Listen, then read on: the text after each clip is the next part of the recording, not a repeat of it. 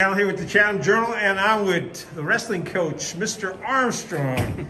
and you had, let's see, you went against Chapel Hill, and then you went against Apex. But let's start off with Chapel Hill. They came out on top. Yes, uh, very well coached team. Uh, we thought we had the matchups where they were today, but you know, some you know, 182 kind of we thought we had that and moving forward and stuff. But uh, overall, the boys look good. Sorry. Yeah, the boys look good, and uh, you know, we're, we're, continuous improvement, and we could see that with the second match. You know, the guys that got throttled in the first match, you know, they came back, they rebounded. That means their head's right, you know, and they're out to win. All right. So the second match was against uh, Apex. That is correct. Okay. first match was against Chapel Hill, and that was a conference. That is correct. All right. And they were actually conference champs last year, weren't they? Uh, yes, they beat Orange in the last match. Yes. All right. Now, uh, what was the difference between? I think the score was what 50. 50 to 12, I believe. Yeah, and how? And, I, and we talked that you thought you were going to do well against Apex, but that's considerably better than you thought you were going to do. Yeah, in this in this matches that we have, the matchups were a lot better the, with, with our kids, and you know, and like I said before, you know, the kids that lost against Chapel Hill, which we were thinking we're going to win came out here and, and, they, they put a show on and they put their moves together. So that, that's what we're looking at for improvement. So you saw improvement just between the first match and the second match, but we've, we've, we're several matches into the season. So who have you seen or and what have been the biggest improvements that you've seen on the team? Well, 132, Asher Rock, Asher Rock River, uh, phenomenal kid come in. He's green. Uh, was a JV uh, wrestler last year. Didn't have a whole lot of mats at time. Came out here today. I mean, he, we par we paired him up with some good matches and the way he handled himself out there. Asher looks great. Ian Morrison at 52 is looking good. Ryan Brinker at 170. He had a tough match uh, against Chapel Hill. He was winning and turns around and loses at the end.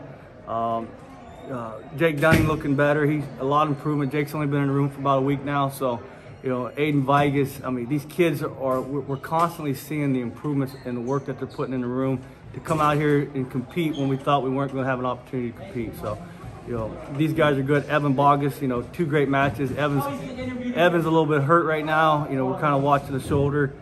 Um, you know, Josh Miller, you know, class act kid, you know, coming out here wrestling good. Coltrane Northington, he's been in the room five days and, you know, comes out here and, and turns around and has two pins tonight. So, you know, Coltrane came out, you know, filled a void for us and he was one of my elite kids last year. We got him back out on the mat, and you know, tremendous improvements this year. This whole team, just in general. Now, in basketball and football, sometimes we ask the coaches, "What what did you say to the team during halftime?" But you don't have a halftime in wrestling. So, what did you tell the team between the match against Chapel Hill and the match against Apex? So we walked in, you know, with the whole goal. You know, we knew we could beat Chapel Hill if we stayed off our backs. Okay. You know, and some of the kids that got pinned should have never got pinned and you know, and that was the difference in the match. You know, wasn't disappointed in them. I was upset, and, and they knew it. And you know, and we worked out, you know, some of the kinks that that we've seen and what I've seen, you know, and they picked up. So they did a tremendous job of just changing it, picking up, and then you know, they're you know they're coachable kids. Every one of them kids in the room is coachable, and you can see it against Apex. So going from match day to next your next matches, who, who are you up against next? We face uh, we got another conference match with Orange High School. Okay. So you know the matchups look good. You know we're the we're giving up 12 points right off the bat. So you know we don't have a 20 we don't have a a, uh, a 20 pounder and we don't have a um, 38 pounder. So that we're losing 12 points. Orange is losing 12 points. So it's going to be even out even keel throughout the whole match. So what we're looking at is make sure we got the right matchups like we did tonight with the 132 and move it to 138 or moving down to 126. So, you know, Vargas will be probably at 20, we'll have Coltrane at 13 and Josh at 106. You know, got another week with Vargas. So it's all about making sure we put the right kid on the right kid at, at, Orange. And if we wrestle like we wrestle against Apex, we, we come home with a win against Orange. Okay, so you're trying to line up the um, the wrestlers to, to match up well against Orange. Are there any other strategies? Are you when you match them up? Are you specifically getting your individual guys to figure out how the other the person that they may be up against what they're how that how they how they wrestle? Yeah, that's basically what it is. You know, we know where Bogus is tight and, and he's tough at. You know, they may have a kid that may, you know, Evan may beat the kid by three points. You know, but if I move Evan to 52 and he pins the kid, we get six points. You know, so it's just experience over over time and knowing what the kids look like. You know, uh, Coach Davis uh, uh, was the previous head coach. He's been here forever. You know, he has a lot more insight than I do on what these kids. I'm an Ohio wrestler. I just go out and wrestle. Down here in North Carolina, it's a little different. You know, we got to put the best kids against you know the right the right kid at the right time.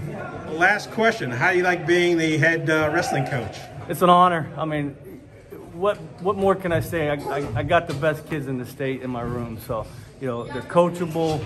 You know, they're respectful. Uh, I mean, you know, it says enough. I mean, they're all you know good grades and stuff like that. And they're all being clowns from behind you, Gene. So, but no, it, it's a tremendous honor. I want to thank Coach Vernon, Coach Amy, Dr. Walston, uh, Chatham County School Board for allowing me the opportunity to, to take the team after Coach Amy walked away.